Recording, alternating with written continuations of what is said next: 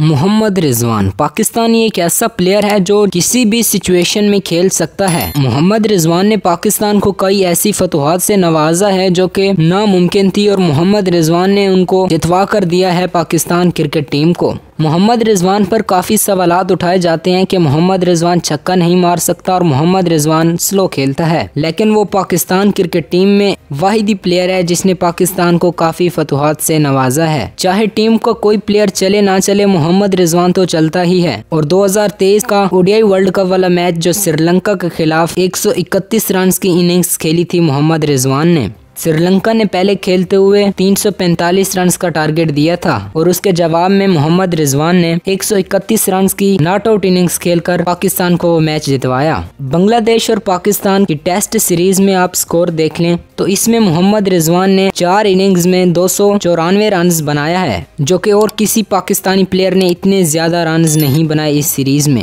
इस सीरीज़ में पाकिस्तान की तरफ़ से सबसे ज़्यादा बेहतरीन प्लेयर मोहम्मद रिजवान ही रहे हैं। मोहम्मद रिजवान ने 32 टेस्ट मैचेस खेले, जिनमें उन्होंने 1910 रन बनाए और 9 मरतबा नॉट आउट गए, जिनमें उनका बेस्ट स्कोर 171 है। मोहम्मद रिजवान ने टेस्ट में तीन सेंचुरियाँ की और 10 हाफ़ सेंचुरियाँ की, जिसमें मोहम्मद रिजवान का स्ट्राइक रेट पचपन का है और एवरेज चौतालीस की। मोहम्मद रिजवान ने चौहत्तर ओडियाई मैचेस खेले, जिसमें दो रन बनाए, पंद्रह बार नॉट आउट गए और इनका बेस्ट स्कोर 131 है। इन्होंने तीन सेंचुरी लगाई और तेरह हाफ़ सेंचुरी लगाई। ओडियाई में इनका स्ट्राइक रेट पचासी का है और एवरेज चालीस की। मोहम्मद रिजवान ने 102 टी ट्वेंटी मैचेस खेले, जिनमें उन्होंने तैतीस सौ तेरह रन बनाए 21 बार नॉट आउट गए और इनका बेस्ट स्कोर 104 है, जो की उन्होंने साउथ अफ्रीका के खिलाफ 2021 में बनाया था। इन्होंने टी ट्वेंटी में एक सेंचुरी की और उनतीस हाफ़ सेंचुरी की, जिनमें इनका स्ट्राइक रेट एक सौ छब्बीस का है और एवरेज इकतालीस की। अपनी राय कॉमेंट सेक्शन में दीजिएगा और हमारे चैनल को सब्सक्राइब कीजिएगा।